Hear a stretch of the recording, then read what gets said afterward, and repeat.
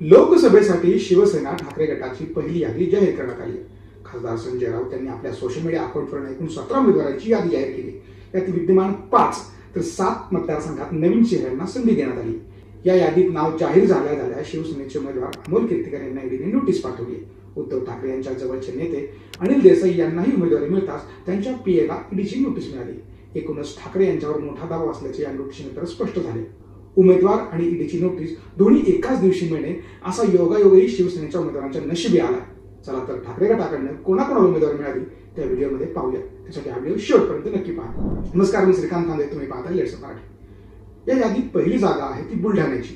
त्या ठिकाणी ठाकरे गटाकडनं नरेंद्र खेडेकर यांना संधी देण्यात आली आहे. तसं तर हा शिवसेनेचा बालेकिल्ला. येथून शिंदे गटाचे प्रतापराव जाधव हे सलग तीन वेळा निवडून आले. सध्या खेडेकर शिवसेनेचे जिल्हा संपर्क प्रमुख म्हणून काम पाहत आहेत. त्यामुळे ते महायुतीच्या उमेदवाराला टफ फाईट देतील असं चित्र आहे. दुसरी जागा आहे यवतमाळ वाशिमची. येथून माजी आमदार संजय देशमुख यांना उमेदवारी मिळाली. येथील शिंदे गटाच्या खासदार भावना गवळी सलग पाच वेळा शिवसेनेच्या तिकिटावर निवडून आल्या. या ठिकाणी महायुतीकडनं भावना गवळी आणि संजय राठोड यांच्या नावाची चर्चा सुरू आहे. या पुढची जागा आहे ती मावळची. येथून संजय वाघेरे पाटील यांना उमेदवारी देण्यात आली. हा मतदारसंघ पूर्वीपासूनच शिवसेनेचा गड राहिला. विद्यमान खासदार सुरंग बारणे हे महायुतीमध्ये आहेत. तर राष्ट्रवादीतून शिवसेनेत आलेले संजय वाघेरे हे बारणे यांना चांगली फाईट देऊ शकतात असं चित्र आहे. या पुढची जागा आहे सांगलीची. या ठिकाणी चंद्रहार पाटील हे उमेदवार असतील. तसं तर सांगलीची जागा महाविकास आघाडीत वादाचा मुद्दा आहे. काँग्रेसचे विश्वजित कदम हे विशाल पाटलांसाठी आग्रही होते. मात्र ठाकरेंनी चंद्रहार पाटलांची थेट उमेदवारी जाहीर केली आणि जागा प्रतिष्ठेची केली. चंद्रहार पाटील हे उमेदवार शिवसेनेने जाहीर केले असले तरी काँग्रेसच्या दबावापुढे उद्धव ठाकरे काय भूमिका घेणार हे लवकरच स्पष्ट होईल. या ठिकाणी भाजपने संजय काका पाटील यांना अगोदरच उमेदवारी जाहीर केली तर त्यांच्यासमोर नक्की कोणाचे आव्हान असणार हे येणारी वेळच सांगेल. त्याच्या पुढची जागा आहे हिंगोलीची. त्या ठिकाणावरनं नागेश पाटील आष्टीकर यांना उमेदवारी जाहीर करण्यात आली या मतदारसंघात काँग्रेस आणि शिवसेनेची समसमान ताकद पाहायला मिळाली. या ठिकाणी सध्या शिवसेनेचे हेमंत पाटील हे खासदार आहेत. मात्र माजी आमदार नागेश पाटील आष्टीकर हे महायुतीच्या उमेदवारांना तुल्यबळ लढत देतील असं चित्र आहे. पुढची जागा आहे छत्रपती संभाजीनगरची. या ठिकाणावरून चंद्रकांत खैरे यांना उमेदवारी जाहीर करण्यात आली. हा मतदारसंघ सुद्धा शिवसेनेचा बालेकिल्ला. या ठिकाणावरून ठाकरे गटाकडनं अंबादास दानवे देखील इच्छुक होते. गेल्या काही दिवसांमध्ये दोघांमधील वाद अनेकदा चव्हाट्यावर आला. आता खैरेंना उमेदवारी मिळाल्यानंतर दानवे काय निर्णय घेणार हे पाहणं औत्सुक्याचे ठरणार आहे. फक्त या ठिकाणचे विद्यमान खासदार. इम्तियाज जलील यांना विसरून कसं चालेल? गत वेळेस त्यांनी खैरेंना धक्का देत मैदान मारलं होतं. ठाकरे गटाने जाहीर केलेली पुढची जागा आहे ती धाराशिवची. या ठिकाणावरनं विद्यमान खासदार ओमराजे निंबाळकर यांना पुन्हा एकदा उमेदवारी देण्यात आली. या ठिकाणी महायुतीमधील प्रत्येक घटक पक्षाने दावा केला. तानाजी सावंत पुतण्यासाठी तर भाजप प्रवीण परदेशी यांच्यासाठी आग्रही असल्याचे दिसत आहे. आता दरम्यान कोणाला संधी मिळते हे पाहणं महत्वाचं ठरणार आहे. पुढची जागा आहे ती शिर्डीची. या ठिकाणावरनं भाऊसाहेब वागचौरे यांना उमेदवारी जाहीर करण्यात आली. या ठिकाणी सदाशिव लोखंडे हे विद्यमान खासदार आहेत. ते सध्या शिंदे गटात आहेत आणि तेच या जागेसाठी आग्रे आहेत. तर रामदास आठवलेने देखील या ठिकाणावर लढण्याची इच्छा अनेकदा बोलून दाखवली आहे.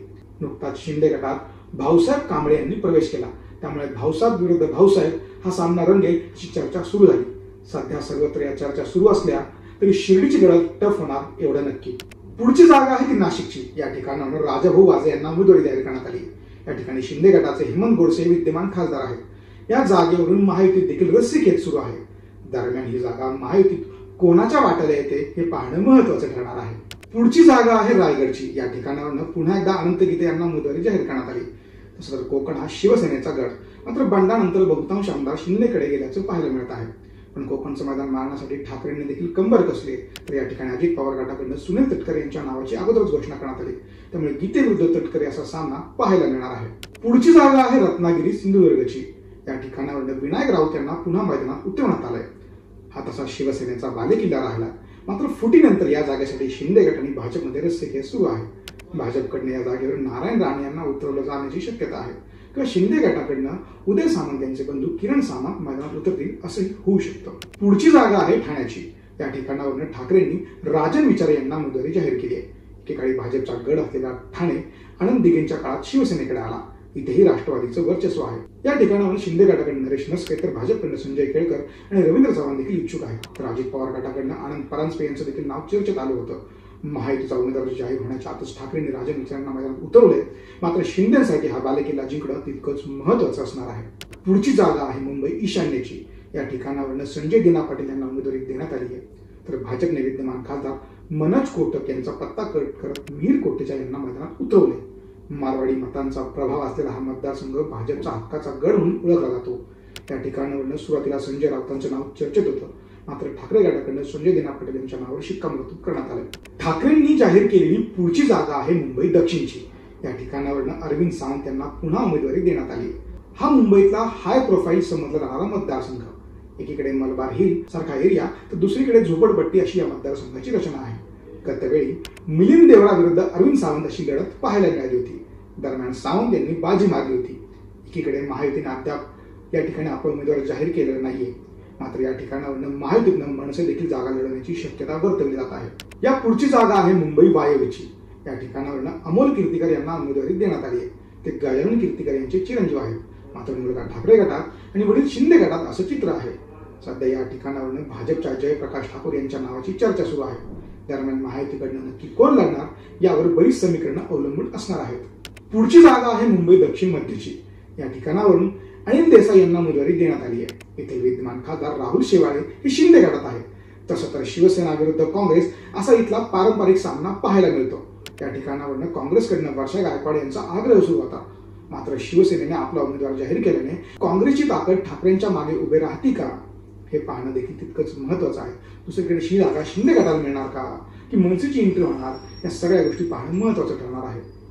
या पुढची जागा आहे ती परभणीची. या ठिकाणावरनं संजय जाधव यांना उमेदवारी देण्यात आली. परभणी हा तर शिवसेनेचा गड या ठिकाणी जाधव हेच विद्यमान खासदार आहेत आणि त्यांनाच पुन्हा तिकीट मिळाले. या ठिकाणी महायुतीमधून राजू विटेकर यांच्या नावाची चर्चा आहे. तसेच महादेव जानकर महायुतीत आल्याने त्यांना सुद्धा ही जागा सुटण्याची शक्यता आहे. एकीकडे शिवसेनेने ही यादी जाहीर केली तर दुसरीकडे काँग्रेस नेते या यादीवर नाराज झाल्याचं पाहायला मिळत आहे. एकतर सातारा दुसरीकडे मुंबईतील जागा. या दोन ठिकाणावरनं माहितीमध्ये संघर्ष पेटतो की काय अशी चिन्ह पाहायला मिळत आहे. ही माहिती तुम्हाला कशी वाटली आम्हाला कमेंट करून नक्की सांगा. तसेच असे नवनवीन माहितीपूर्ण व्हिडिओ पाहण्यासाठी लेट्सअपच्या सर्व सोशल मीडिया प्लॅटफॉर्मला फॉलो करायला विसरू नका. धन्यवाद.